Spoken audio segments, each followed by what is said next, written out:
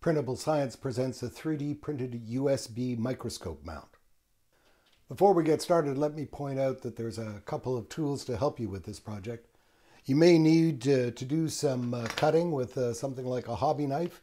If you don't have one, you can check out uh, this link, which will explain how you can print off a hobby knife so that uh, all you need to do is uh, buy some blades.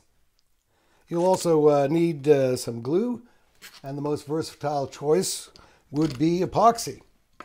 There's a link up here for our video on printing an epoxy workstation that you'll find comes in handy for this and uh, your other gluing requirements. You can pick up a USB microscope for around $20 and for the money they provide some impressive imaging capabilities. They come with an articulated stand or doohickey that allows you to adjust the microscope so it's pointing at some object and then examine the results on your computer screen. Understandably, these, these cheap mounts are, uh, are difficult to, to dial in. There's a lot of play in the joints, and at high magnification, there's uh, just too much uh, wobble uh, to be useful. We can dial this in here, focus, and there you go. And when it comes down to it, I don't really need the triple axis positioning that these mounts provide. I primarily want to use this like I'd like I'd use a microscope to to look at the stuff on the the table or, or flat surface. But unfortunately, the barrel at the end is uh, just uh, too small, and it and it falls over quite a bit. Uh, well, unless you're holding it with your hand, so you're fighting it all the time, and that's due to the weight of the cord and the top-heavy construction. So it seemed like a good idea to design a new mount that held the microscope in a stable vertical position. We uh, first uh, thought these microscopes were all the same, but after we bought a few, we realized that wasn't the case. Although they're very similar, uh, they're uh, that they aren't identical. Fortunately, they are uh, similar uh, enough in their profile that we could design a socket that will fit most, if, if not all, scopes. And uh, just in case there's any wobble, uh, we threw in a nut trap and, uh, and a bolt that can be tightened to keep the microscope in position. Now our microscope mount then consists of two sections.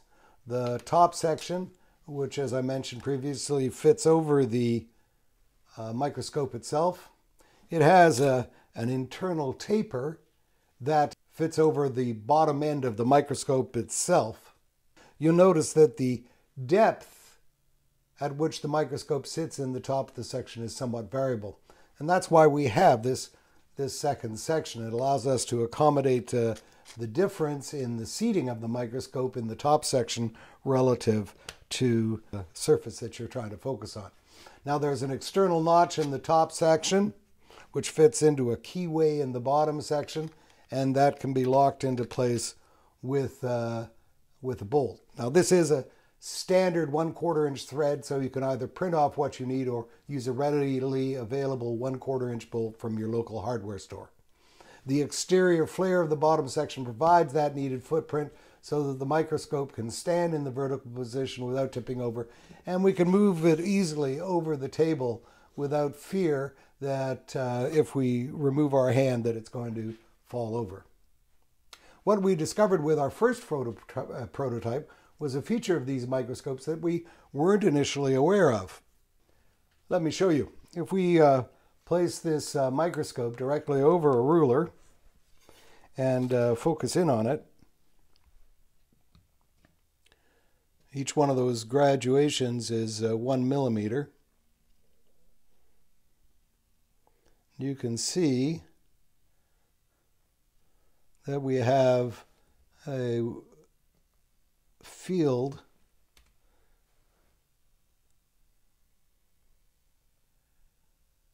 of about uh, five millimeters. But here's the interesting thing. If you continue to turn the focusing knob to the extreme of its rotation the other way, then you get a very impressive increase with a field width. See that? It's a lot more magnified of about one millimeter covering the entire field. Very impressive.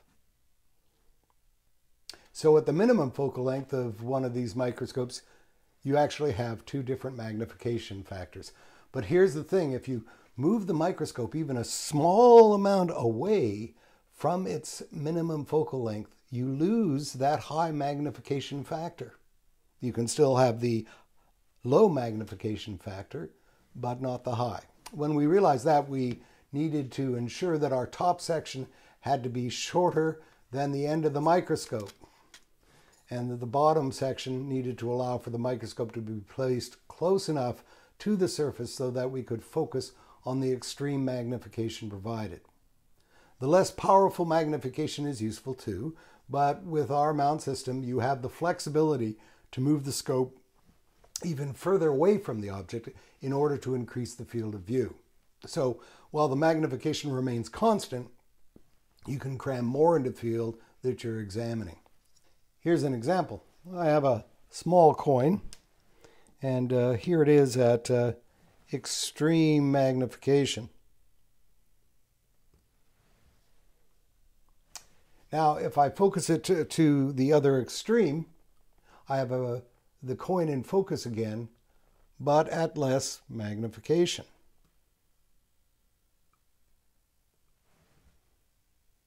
But suppose I want to have uh, as much of the coin in my field of view. With our mount, it's just a simple matter. I loosen the bolt on the lower section and just pop up the intersection until it's as high as it can go. And then I refocus at this new height. And as you can see, we have a lot more in the field of view that we're looking for.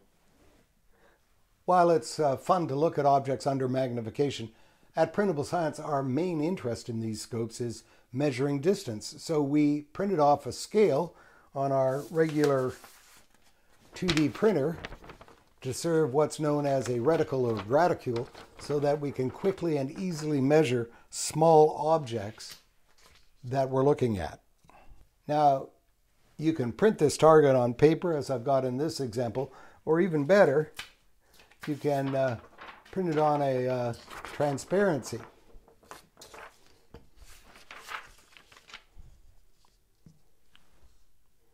That way you're looking through it rather than just at the surface itself. And if we use paper, we'll have to cut back on the paper so it doesn't obs- fully obscure the, uh, the view of what the uh, microscope is uh, pointing at. Now the PDF file has the target within a large circle, which uh, matches uh, the uh, size of the base of the lower section if you printed it on paper. You'll first want to slice the sheet along the top half of your field so it'll be visible. And this is where we use our our hobby knife and a straight edge, you'll see that there's uh, some guidelines on either side of the paper that match up to the uh, top of the uh, ruler. And we just slice that and then cut that away and out of there.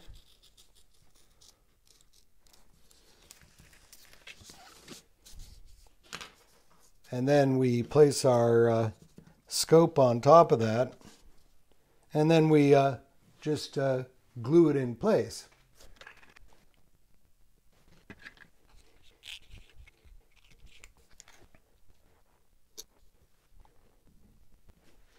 And then we can give that uh, glue a, a chance to dry. Now, if possible, you'll want to print these targets in black ink only. If you're printing these reticles in color, then the resulting image is going to be a mess of colored dots that isn't going to be particularly helpful. Now, while our reticle serves us well enough at low magnification, you can see if we focus in to our highest magnification that things kind of uh, dissolve into uh,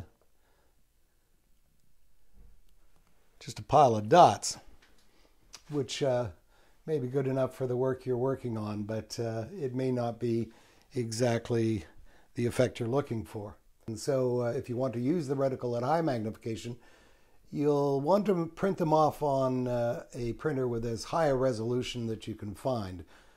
Now, most microscopes also come with a sheet of their own reticles that you can use uh, if you don't like uh, the quality of home printed ones. And uh, there's a, a, variety of uh, targets uh, on them that we can just take a look at here.